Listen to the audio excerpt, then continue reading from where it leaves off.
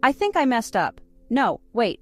NASA's Artemis program is actually set to take us back to the moon. Meet Artemis, NASA's groundbreaking program aiming to return humans to the moon and beyond. Named after the twin sister of Apollo, Artemis is all about pushing the boundaries of what's possible in space exploration. Today's space agencies face big challenges funding, cutting edge technology, and international collaboration. But Artemis is tackling them head on. With Artemis I, we're testing vital systems. Artemis II will take astronauts on a lunar flyby. And Artemis III? That's the big one, landing the first woman and the next man on the moon.